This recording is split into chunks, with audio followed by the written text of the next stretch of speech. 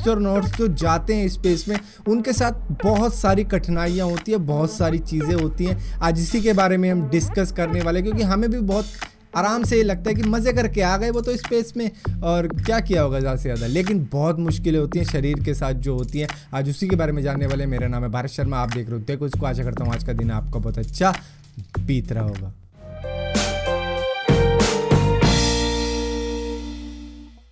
जब astronauts zero gravity में जाते हैं तब उनके शरीर का फ्लूइड बजाय नीचे की तरफ़ जाने के जो पृथ्वी पर होता है ग्रेविटी की वजह से फ्लूइड नीचे की तरफ़ जाता है।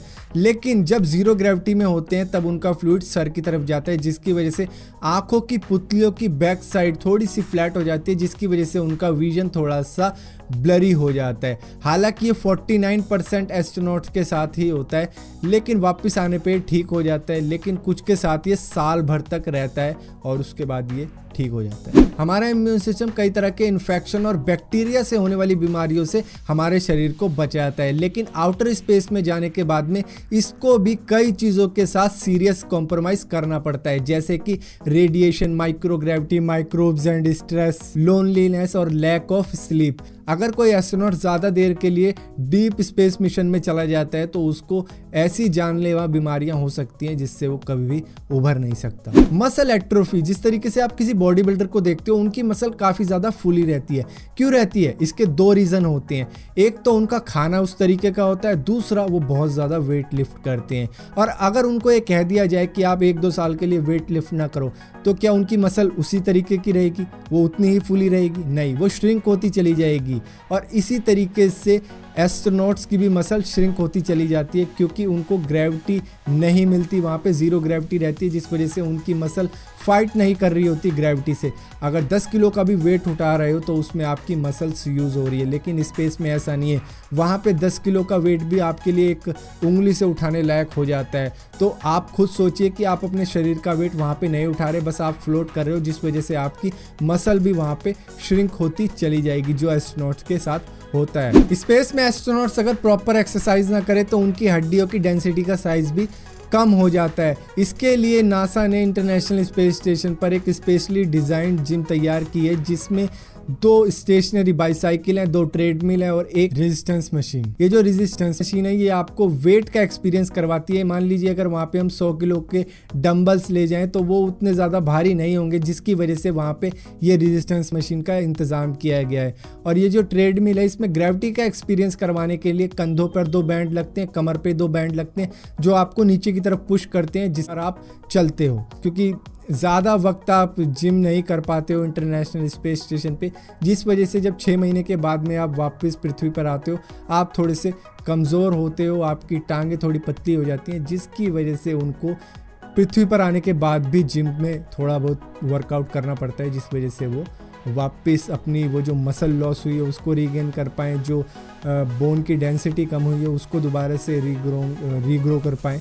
तो ये सारी चीज़ें करनी पड़ती हैं इंटरनेशनल स्पेस स्टेशन से आने के बाद में। स्पेस में जाने के बाद में कुछ एस्ट्रोनॉट ढंग से सो नहीं पाते क्योंकि हफ़्ते दो हफ़्ते तक उन्हें दिखाई देती है स्ट्रिक्स और फायरवर्क। ऐसा क्यों होता है? कुछ नहीं कहा जा सकता क्योंकि इसके ऊपर अभी भी साइंटिस्ट रिसर्च कर रहे हैं, लेकिन फिर भी इसको एक नाम दिया गया है कॉस्मिक रे विजुअल फिनोमिना। और स्पेस में जो सोने का एक्सपीरियंस है, वो भी कुछ कहा नहीं जा सकता क्योंकि एक बैग होता है वर्टिकली उसमें वो घुस जाते हैं और उसके बाद में उसे जिप करके वो सो जाते हैं। स्पेस एडॉप्शन सिंड्रम जैसे ही एस्ट्रोनॉट स्पेस में जाते हैं, उनके इनर एयर जो कि पृथ्वी पर किसी मोबाइल के एक्सीलरेटर की तरह काम करते हैं, जो बताते हैं कि कब आप खड़े हो, कब आप लोटे हो, कब आप बैठे हो, कब आप करवट ले रहे हो, वो काम करना बंद कर देते हैं, जिससे कई एस्ट्रोनॉट्स को शुरुआती दिनों में मोशन सिकनेस का भी सामना करना पड़ जाता है। पृथ्वी पर ग्रेविटी की वजह से हर चीज़ नीचे की तरफ़ पुश होती है, लेकिन स्पेस में कोई ग्रेविटी नहीं है, जिस वजह से जब एस्ट्रोनॉट्स अपने छह महीने का कार्यकाल गुजार लेते हैं इंटरनेशनल स्पेस स्टेशन पे, और जब वो वापस पृथ्वी पर आते हैं, उनकी हाइट तीन परसेंट बढ़ जाती है। क्योंकि जो उनकी रीढ़ की हड्डी होती है वो बजाय नीचे की तरफ़ पुश होने के, वो धीरे धीरे एक्सपेंड होना चालू कर जाती है, लेकिन कुछ महीनों बाद वो वापस अपनी नॉर्मल हाइट पर पहुँच जाती हैं, क्योंकि वो वापस श्रिंक हो जाती है। तो कुछ लोगों के लिए यही एक अच्छी बात रही होगी कि तीन परसेंट हाइट बढ़ जाती है, लेकिन ये जो टाइम होता है, ये करीब 190 दिनों का टाइम होता है तो यहाँ पर ऐसा ही मामला है। लेकिन फिर भी काफ़ी अच्छी बातें भी होती है स्पेस में जाने की, ये जो एक्सपीरियंस मिलता है। और जब एस्ट्रोनॉट स्पेस से ज़मीन पर आ जाता है, पृथ्वी पर आ जाता है, तब भी उसकी बॉडी को काफ़ी कुछ एडजस्ट करना पड़ता है, क्योंकि काफ़ी टाइम तक तो ऐसा ही लगता है कि हम अभी भी ज़ीरो ग्रेविटी में हैं, दिमाग घूम रहा होता है, जिस वजह से कई बार गिलास हवा में छोड़ देते हैं, खाना हवा में छोड़ देते हैं, जिससे वो टूट फूट हो जाती है, लेकिन फिर भी कुछ टाइम बाद ये एडजस्ट हो जाता है और ऊपर से शरीर जो इतना वीक हो जाता है, उसके लिए एक्सरसाइज करनी पड़ती है, कई सालों तक तब जाके वो दोबारा से रीगेन कर पाते हैं अपनी वो स्ट्रेंथ जो उन्होंने खो दी होती है स्पेस में जाने के बाद में। तो फ़िलहाल के लिए इस वीडियो में इतना ही। अगर ये वीडियो आपको पसंद आई तो इस वीडियो को लाइक ज़रूर करना शेयर ज़रूर करना। और अगर आप इस चैनल पर नए हो तो इस चैनल को सब्सक्राइब ज़रूर करना। और सब्सक्राइब कर रहे हो तो बेल का आइकॉन ज़रूर दोबारा वरना आपको पता भी नहीं लगेगा कि मैंने कोई इसी तरह की वीडियो डाली हुई है।